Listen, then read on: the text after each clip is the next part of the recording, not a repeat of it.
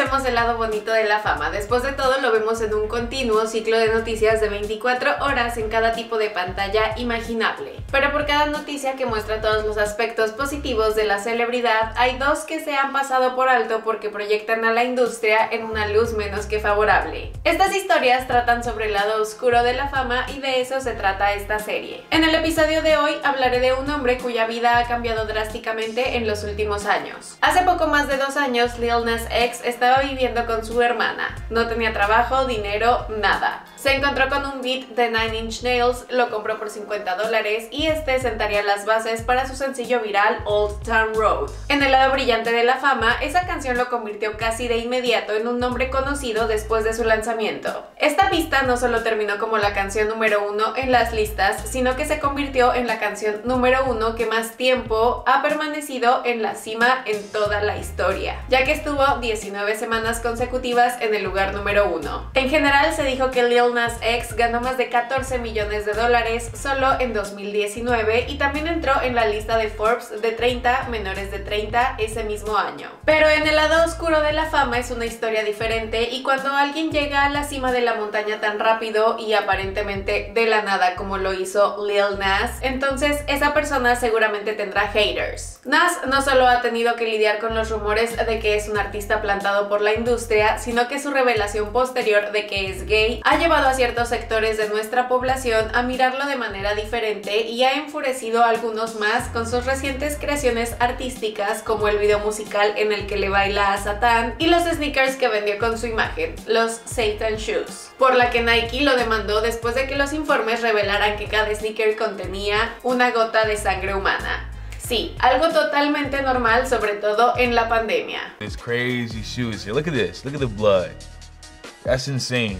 It's only 666 pairs of these. ¿Qué onda? Mi nombre es Ailed y he vuelto con un nuevo episodio de nuestra serie que analiza más de cerca los rincones más oscuros de la celebridad. El tema de hoy no es otro que uno de los artistas más virales de la actualidad, Lil Nas X. Realmente no fue hace tanto tiempo que Old Town Road estaba generando titulares y ahora Nas ha encontrado una manera de crear aún más controversia y en el video del día de hoy les contaré todo lo más oscuro que hay en su relativamente corta carrera. Espero que el video les guste, si es así ya saben cómo hacérmelo saber. Recuerden seguirnos en nuestras redes sociales oficiales en mi Instagram personal y díganme en la parte de los comentarios de quién más quieren que hable en los próximos videos.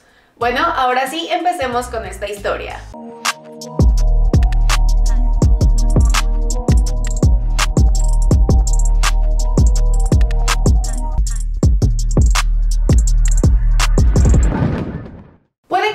Nas X esté disfrutando del éxito ahora, pero gracias a su pasado también sabe un par de cosas sobre la impotencia. Después de todo, fue hace menos de tres años que estaba básicamente arruinado y vivía en la casa de su hermana y también enfrentó otras luchas a lo largo de su vida. Por ejemplo, su madre es adicta a las drogas y él ha estado tratando de ayudarla durante algún tiempo. Le dijo a Variety, realmente nunca hablo de mi mamá. Ella es una adicta, así es que no tenemos la relación más cercana. Incluso tratando de ayudarla, las cosas no salieron del todo bien, pero todavía hay amor.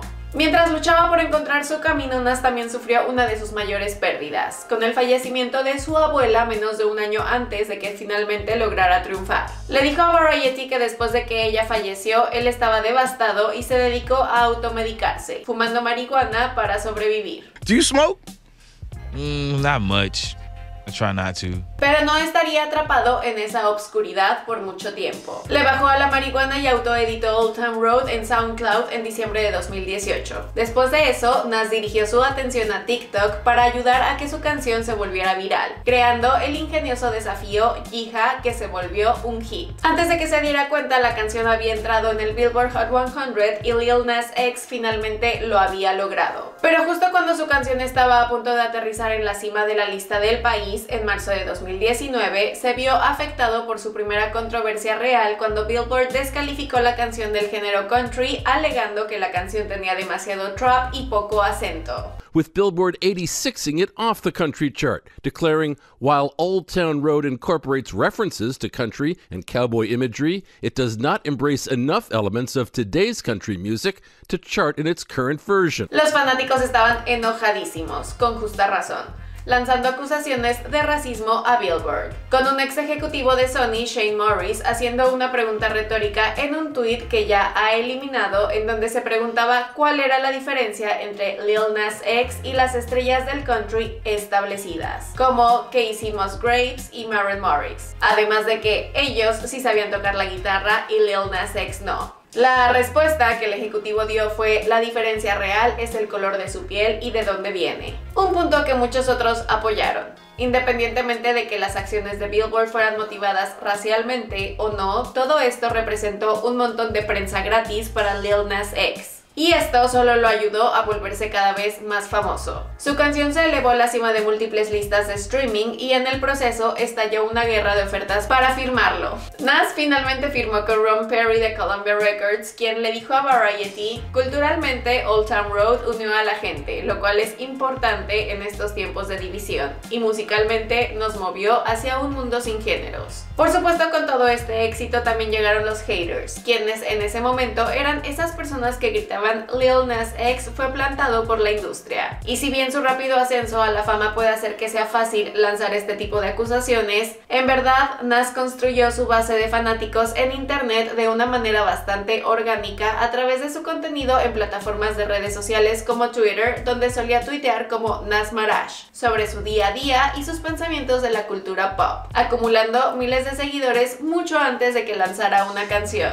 Cuando Nas ha sido confrontado con esta acusación, siempre está dispuesto a divertirse un poco a expensas de sus haters, tuiteando lo siguiente. Sí, fui plantado por la industria, ¿y qué van a hacer todos ustedes al respecto? Pero si pensaron que 2019 iba a ser el pico de la controversia de Lil Nas X, tengo noticias para ustedes, porque a principios de este año Nas llegó con un hit doble que dejará a la gente hablando de él durante años. Primero salió su nuevo video musical para la canción Montero que trata sobre su deseo de no ocultar más su sexualidad. Y en este video, bueno, digamos digamos que lo deja lo más claro posible. Sí, es el video en donde Lil Nas X le baila a una versión de Satanás que parece que fue influenciada por este Satanás si me lo preguntan a mí. Y no solo le baila sensualmente al diablo, sino que termina el video así, lo que supongo que convierte a Lil Nas X en el nuevo rey del infierno. El lanzamiento del video también estuvo acompañado de una nota que Nas le escribió a su yo del pasado en donde habla acerca de salir del closet y ayudó a aclarar para qué está siendo tan provocativo hoy en día. En una parte de la carta escribió, verás, esto me da mucho miedo, la gente se enojará, dirán que estoy impulsando una agenda y la verdad es que sí lo estoy haciendo. La agenda para hacer que las personas se mantengan al margen de las vidas de otras personas y dejen de dictar quiénes deberían ser. Para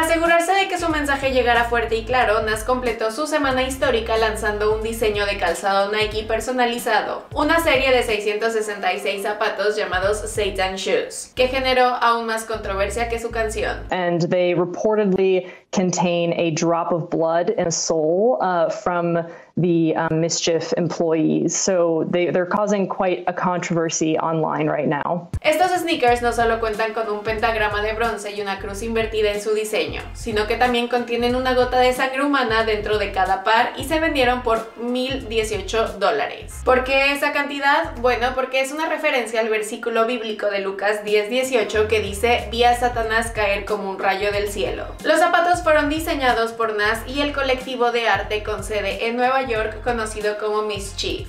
De hecho, los miembros de este colectivo fueron quienes proporcionaron la sangre que está dentro de cada tenis. Citando el hecho de que les encanta sacrificarse por su arte, un miembro de Mischief aclaró más tarde que el equipo creativo juntó las gotas de sangre en el transcurso de una semana, utilizando el mismo tipo de aguja que se utiliza en las pruebas de glucosa del hogar. Estos zapatos se basaron en el diseño preexistente de Nike Air Max 97, el zapato favorito de Nas. Y aunque Mischief se apuró a señalar que Nike no tuvo absolutamente nada que ver con la creación de estos sneakers, eso no detuvo a la gigante del atletismo de tomar medidas enérgicas contra ellos tan pronto como se enteraron. That is pretty bold even for Nike, but now the company saying in a statement it had nothing to do with the shoes and Nike suing uh, for copyright infringement. Según Billboard, Nike inmediatamente tomó medidas para demandar y pidió a la corte que ordenara que todos los zapatos y materiales de marketing les fueran entregados para su destrucción. Un juez de distrito de los Estados Unidos haría cumplir esta orden de restricción el 1 de abril de 2021. Todo este relajo sobre sus sneakers nuevos hizo que Lil Nas X pensara dos veces sobre sus decisiones y publicó el siguiente video de disculpa en YouTube. Okay, guys, I see everybody's been talking about this shoe, and I just want to come forward and say. ¿De verdad pensaron que Lil Nas se iba a disculpar? El hombre está divirtiéndose muchísimo con todo lo que está sucediendo a pesar de la controversia. Y honestamente, ¿por qué no? Me parece bastante extremo hacer tanto drama por el lanzamiento de un par de sneakers que, spoiler alert, probablemente ni siquiera tengan sangre y si la tienen es mucho menos que la cantidad promedio de onzas de sudor y transpiración que se utilizan en la fabricación de cualquier zapato para correr. Ah, y adivinen qué, Nike podría haber tomado medidas rápidas, pero ya era más o menos demasiado tarde porque los sneakers de Nas se agotaron en menos de un minuto. Y aunque se ha llegado a un acuerdo entre Nike y Mischief que los ha visto pedir a los consumidores que devuelvan los zapatos a Nike para un reembolso completo, realmente dudo que las personas que estaban dispuestas a gastar tanto en estas obras de arte desde el principio vayan a regresar los sneakers. Estos sneakers van a valer demasiado algún día. En caso de que piensen que toda esta controversia va a lastimar a Lil Nas X, bueno, realmente no es así. Su video de disculpa falso no solo ha sido visto más de 6 millones de veces en YouTube, sino que esta guerra cultural ha convertido su nuevo sencillo en un éxito masivo con más de 107 millones de visitas en YouTube. Incluso su nombre se ha disparado en popularidad. Desde el lanzamiento de sus sneakers y su canción Montero, Lil Nas X ha sido mencionado en casi 2 millones de tweets, en comparación con alrededor de 50.000 la semana anterior al lanzamiento. Incluso su música más antigua está creciendo en números, ya que desde el lanzamiento de su más reciente sencillo, Nas ha ganado más de 500.000 nuevos fanáticos, seguidores o suscriptores a través de sus cuentas de redes sociales y también está recibiendo el apoyo de sus compañeros músicos como Miley Cyrus, que llegó tan lejos que hasta se compró un par de sneakers de Satán. Y sí, siempre habrá personas como la gobernadora de Dakota del Sur, Christy Nom, que recurrió a Twitter para criticar a Nas y su contenido con tweets como los siguientes que afirman que Estados Unidos está en una lucha por el alma de su nación. Pero en su mayor parte sus haters son superados con creces por sus seguidores o fanáticos, que han señalado que toda esta controversia y la justa ira de la derecha solo hacen las creaciones de Nas aún más agradables. Incluso el propio Nas se ha unido a la